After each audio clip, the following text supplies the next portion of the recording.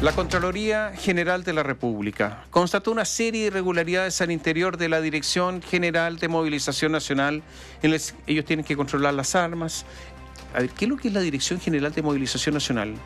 Son los que realizan la conscripción para realizar el servicio militar. Son los que están encargados de movilizar a las fuerzas en caso de guerra, de proporcionar toda la logística en caso de guerra y son los encargados de controlar las armas.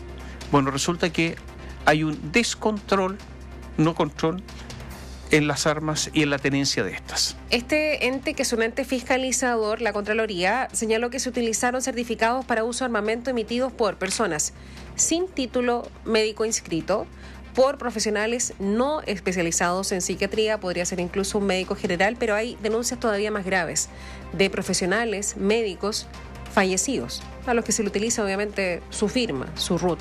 Gabriel Gajardo nos informa. La crisis de seguridad en las calles se tomó la agenda y una de las tónicas en el crimen organizado es el uso de armas de fuego ilegales. Bajo este contexto, la Contraloría General de la República constató una serie de irregularidades al interior de la Dirección General de Movilización Nacional. Se detectó que 61, entre comillas, médicos psiquiatras remitieron certificados para tramitar armas a 1.281 personas pese a no estar registrados en la Superintendencia de Salud. De estos, cuatro profesionales que habían emitido a la fecha habían fallecido.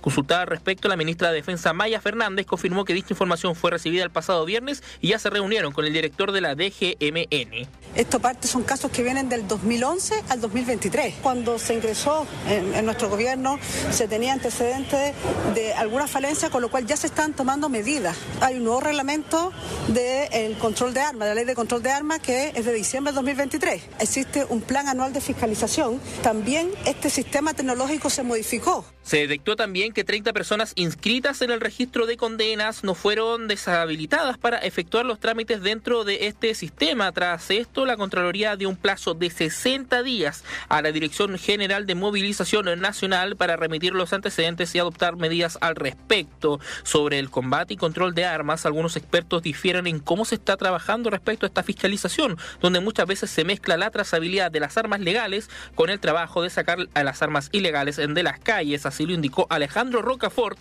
director del Club de Tiro de la Reina. Está bien controlar, súper bien, pero otra cosa total y absolutamente desvinculada a eso son las personas que delinquen y que tienen armas ilegales, las cuales no hacen el certificado psiquiátrico, no inscriben, no dan su dirección. Se está colocando como que si presionaran más a las personas que hacen todo legal, vamos a disminuir la delincuencia.